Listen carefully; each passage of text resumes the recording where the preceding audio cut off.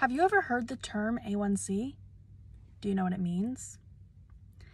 A1C stands for hemoglobin A1C, and it measures our average blood sugars from the past three months. Now, A1C is used to diagnose diabetes, and it's also a way to look at one aspect of our health. Now, I have a really cool visual that I want to show you. It's going to be blood sugars and what they look like at certain A1Cs. But before we do that, I just want to mention that our blood sugars most of the time are sugar that we're eating from our blood, right? Carbs, starch, fiber, glucose, whatever name you want to give it, those. But if we are starving or fasting, the sugar can come from glycogen, which is stored sugar in our liver and skeletal muscle. When you're looking at this visual, I want you to think the sugar is coming from diet. Let's go and look. So here we have our three A1C blood sugar sticks. I'm going to start with the one on the left hand side. This one is a normal blood sugar or a normal A1C.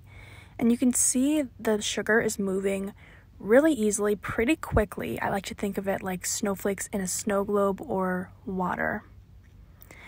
Now I'm going to go with the one in the middle. This is an A1C of 8. Someone with an A1C of 8 has diabetes, and you can see the sugar is moving a lot slower. There's some resistance there. It's kind of like corn syrup. And if you think of your heart pumping the blood around your body, it has to pump a little bit harder to move that sugar.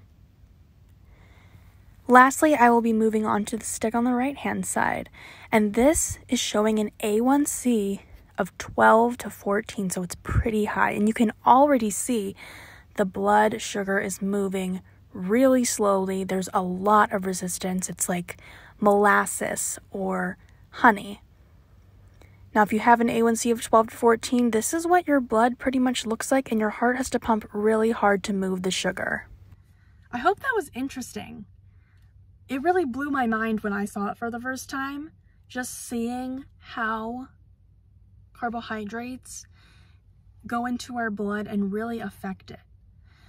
If you watch that and now you're thinking, oh my gosh, I cannot believe carbohydrates can do that. I need to not eat carbs anymore.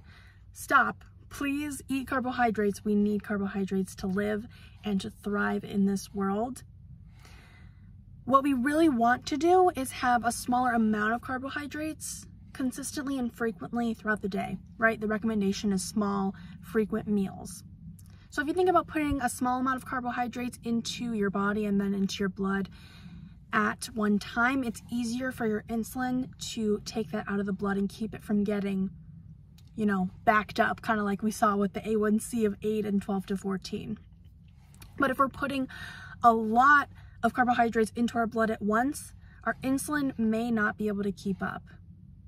So just keep that in mind if you're interested in me talking maybe more about carbohydrates, please let me know in the comments below. And I hope you have a great day.